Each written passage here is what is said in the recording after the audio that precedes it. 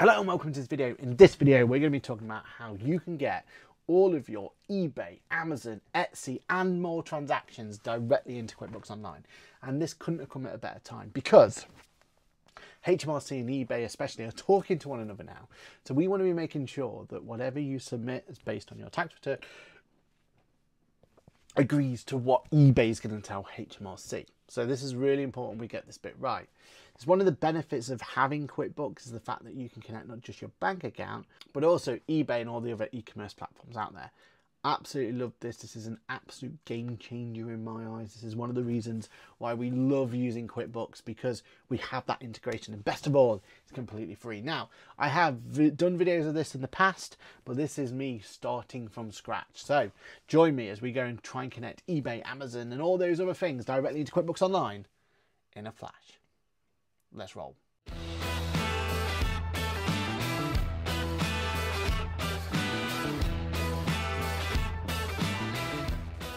Hello, my name is Aaron Patrick. I am a chartered accountant, a certified UK trainer fancy new logo, that QuickBooks chap on the internet, head of accounts here at Boffix, and also your friendly podcaster who goes live each and every Monday morning for Ask the Accountant. Now, in today's video, we're going to be talking about the fact that actually got quite a lot to talk about here because we're going to be talking about how we're going to make sure that your eBay, Amazon, Etsy, and all of those sort of transactions come into QuickBooks Online efficiently and best of all, completely for free as long as you've got a QuickBooks license.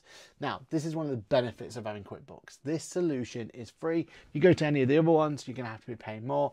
And even with QuickBooks, there are other solutions out there that you can use. Use my link below to see other solutions, link my books, things like that and they are very very powerful for certain situations. But for most of you out there this connection here is exactly what you need. Let's start from scratch. Let's get the connection up and running see exactly what it does for us. Okay i've created a brand new client here so we're starting from scratch. Here it's going to ask me some questions at the beginning. So if you're first getting connected to quickbooks this is the sort of connection you're going to want. So i'm just going to do other for now. I'm saying i'm a limited company and i'm less than one year we'll do fine I'm going to ignore the next page. All right, so I'm first into QuickBooks. Now, if this is the first time you've ever seen QuickBooks, I've done some other videos on like, first starting up. Some real pro tips though, make sure of the first thing you do, go to your bank transaction area and connect your account. Connecting your account is super straightforward. As you can see here, it's kind of asking me to put in credentials, making sure that I've got everything in play. Well, my pro tips are just use your phone, right?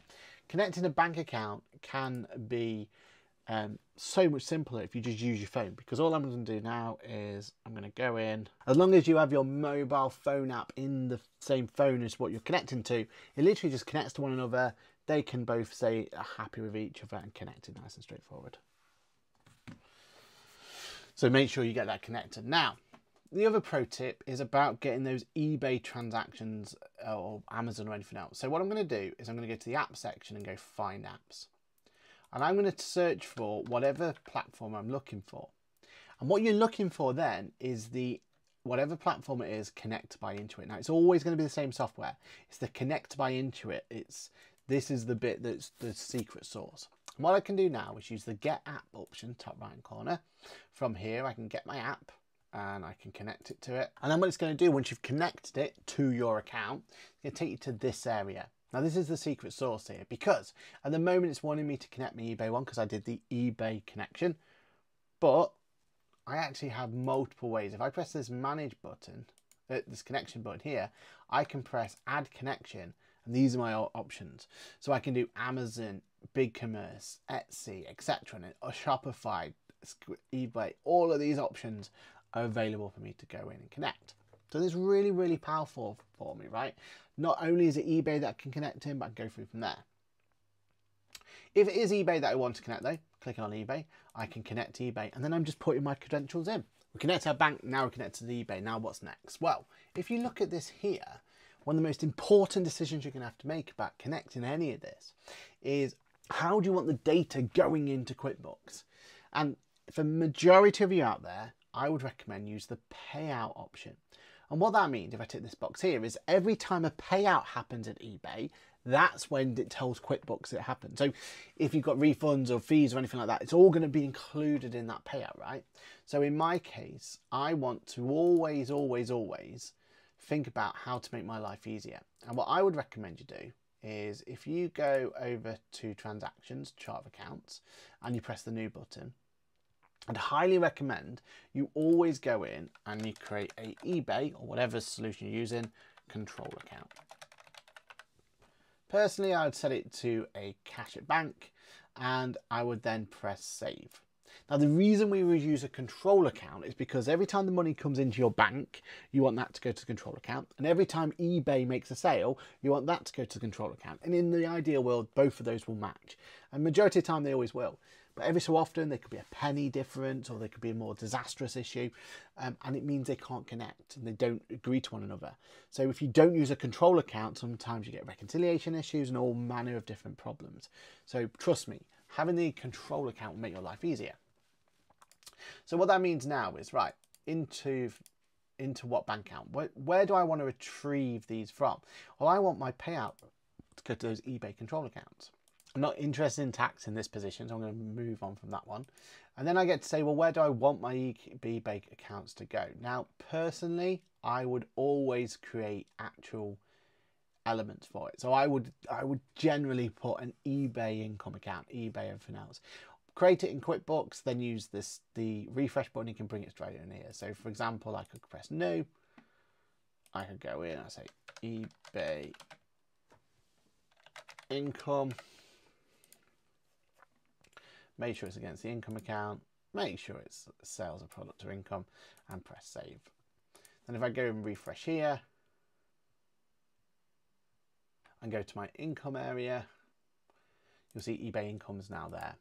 And you probably want to do the same, if I'm completely honest, with your refunds, just so you can see that. And then you need to see a fee. So where are you going to put your fees? Well, I would again create one for each one. I'm just going to put sundry for now for add. And then for the charges, I'm just going to put against credit card charges. You would want to create the proper ones for each one. But it's as simple as that, right? Now when I press save, now I've pressed save, I've told the QuickBooks app how I want to do it. And all I need to do then is turn the integration on. I do want to bring my um, integration as far back as I can. In my case, I'm allowed to go all the way back to July. Sounds good to me. Turn the integration on and I would then press sync now. So what's happening now is it will go back to whatever date you said is the first one. And now going forward, it's going to go in and it's going to put the information that we need to put in there. So it'll always, always put that forward. Now that's using the payout option. For majority of you, payouts absolutely fine. If you are VAT registered though, you will need to start thinking about the order solution. The idea of the order one is that every transaction in eBay is generated for you. So you've got actual each individual order either as a sales invoice or sales receipt, and you can really go into depth and what it in. If you are VAT registered, you are going to have to think about bringing it in by this way. But for most of you, I wouldn't go anywhere near doing it this way.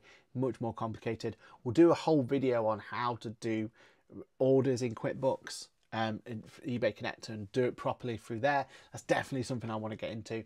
Use the comment section below to really push for me to get that earlier rather than later. But for now, we're going to concentrate on just the payout one because the payout one's the one that's going to make it super simple. So at this point in time, um, it's synchronizing, it's going through every 50 minutes in this idea or every hour, it was going to sync it again for me and keep me on board with, with making sure this connected. So what's the connector actually done? Well, if I go to my dashboard area, this is why I love using eBay control accounts. You can see I've got two different numbers. I've got two numbers that are really important in my bank account area. My bank account itself, so I've got 17 transactions to sort out, and my eBay control account is saying I've got £11.53 in. What's that? Clicking on the actual account makes me bring it in and you can see here eBay data has been posted for me.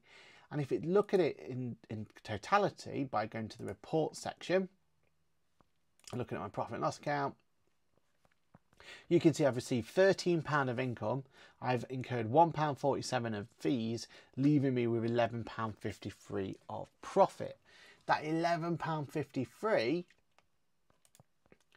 is the same £11.53 I've got sat in my eBay control account.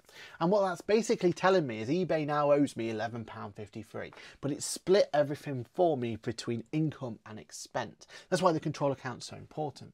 So if I was to go to the transactions and bank transactions, and I go looking for uh, my my eBay income, I don't want to be posting my eBay income to income, right? I've already accounted for that. £13 sat there. But you'll notice I've had £11.53 come from eBay. Now, that £11.53 that eBay has paid me and put into QuickBooks for me, I need to account for that. Now, how do I account for it? Well, I'm going to go into it. I'm going to record it as a transfer and I'm going to transfer it to eBay control account. Because remember, if I was to post that £11.53 to income, I'm double counting. I've already accounted for £13 and my £1 47 of, of fees. So now what I'm going to do is I'm going to post it to the eBay control account. And actually, I'd probably go a step further. I would create a rule so that every time eBay pays me out, it's going to transfer it and it's going to go directly to my eBay control account. And that rule there means that every time that it sees this income coming in going forward, it's going to automatically assign it. And I've got auto add there so I can press save. It'll also do historical ones for me if I need to. But ultimately now, if I go to my dashboard and I have a look at my eBay control account, it's now zero. The reason it's zero is because eBay told me they were going to pay me £11.53. They then paid me £11.53 and now my reports beautifully state not only my income correctly, £13 in my case, and my charges correctly, £1.47 in my case, but that means that I've got everything set exactly how it should be. Now, this is why connecting your eBay, Amazon, and everything else is so beneficial because the income will automatically be put into the right place for you. The expenses and the fees will automatically be applied for you. And all you need to use is those control accounts to make sure that you can then keep on top of them and make sure that everything's correct. And in theory, you either should be at zero, meaning that eBay's paid every penny to you at this point in time or it's going to be amount there that eBay or Amazon or any of the other accounts still owe you. And there we have it. There is a really quick look at how to connect it for the first time, getting that information and use that payout function for you to be in, in the best way possible. Put your best foot forward in this case, and you will see how much easier it is to do doing it this way. My name's been Aaron Patrick. Let me know in the comments below, how do you find this connection? Is there any other solutions? I did say if you use my link tree below, there are other solutions we use, like Link My Books for more sophisticated solutions. This is when you just want the nice, easy way of doing it. Using the payout solution, push them there. Now, if you need more complicated ones, like for example, if you're VAT registered, then keep an eye on, on this channel. Make sure you subscribe and make sure you like because we will be going through and showing exactly how to connect it in a more complicated scenario later down the line. We already have a video for it though, so we ha already have historical videos, but that's three year old now. So we're trying to keep this refreshed, trying to put better uh, information in there and quicker ones as well, because this way now, so much more so sophisticated and done than we've ever had before. So make sure you connect that into it so make sure you go to the App Store, make sure you use the Find Apps option, make sure you use eBay or whichever one you want to do, but it's the eBay connector by Intuit. It's going to make sure that you can have everything flowing directly into your QuickBooks. My name been Aaron Patrick. As always, use the like and subscribe button. Thanks for all the support you've been passing over to this channel lately. It's been highly, highly appreciated, and I will see you in the next video. Bye for now.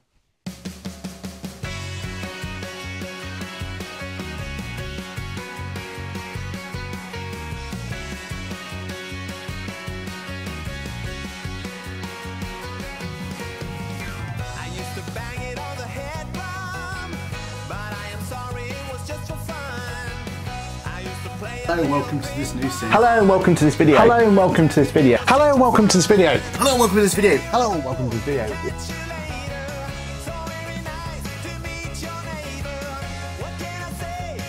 Alright, let's get it set. Let's do this. Oh yeah, I'm alright. Yes, I'm aware we go live every Monday. The next generation is about everyone else that missed it. Yeah. So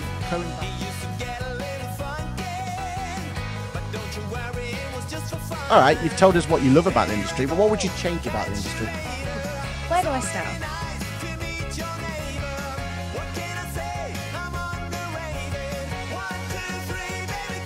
During that period of time, where did everyone turn to? Their accountant, right? their advisor, their bookkeeper, and you all did phenomenal work for small business.